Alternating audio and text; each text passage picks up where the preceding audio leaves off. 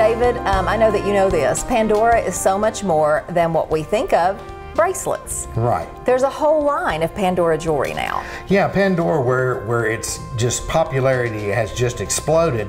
They have uh, expanded the line tremendously. Mm-hmm. Uh, you know, one of the big sellers for us, Mm-hmm. um, the rings, uh, stackable. Uh, the, I mean, they're just, I mean, they're just gorgeous, and they start out, you know, 40 45 dollars, um, and they're and they're very stylish, very attractive. Um, we do a lot with the rings. Also, earrings. They do a complete earring selection in the Pandora lines. Pretty much all of them will match uh, or pertain to a particular uh, match a bead or whatever. If you want to build a per se a trio of earrings, uh, ring, bracelet, uh, or earrings or necklace. And this is Yeah. a beautiful necklace. Yeah. Do the same beads for the bracelets work on the necklace? Exactly. This is this is nothing more.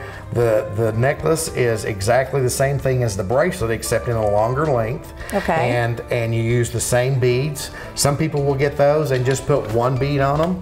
Some people will use them and you know uh, just like that, uh, multiple. But it all began with the bracelet. It all began with your basic Pandora bracelet, very similar th- this style right here.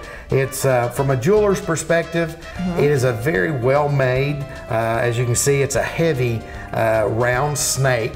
Uh, it has a very secure catch.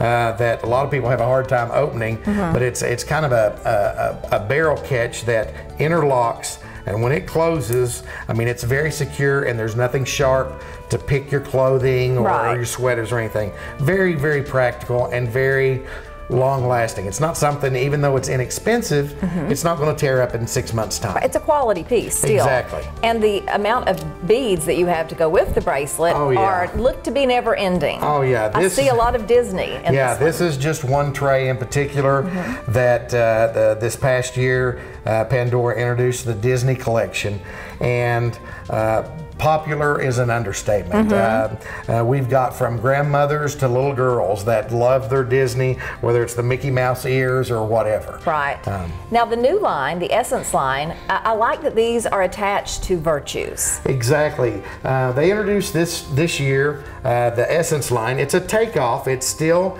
a bracelet and bead line, but as you said, Melody, it's a themed line. And these bracelets, um, you can get them whether it's the bangle or the flexible ones. The beads are a little smaller and they stay put. They don't wear on the traditional Pandora bracelets.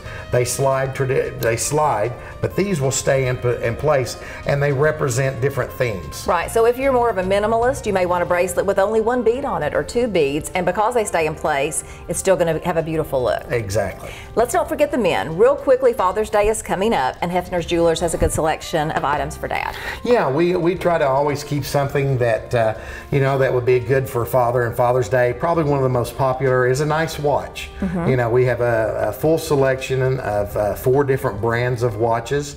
Uh, we also carry a lot of personalized engravable gifts, be it money clips, tie tacks, keychains, so on and so forth like that. Okay, I encourage siblings to go in together. Just a little tip that my siblings and I have used to get your dad a nice gift. He deserves it. Exactly. It's been great talking to you again, David. Nice talking to you, Melody.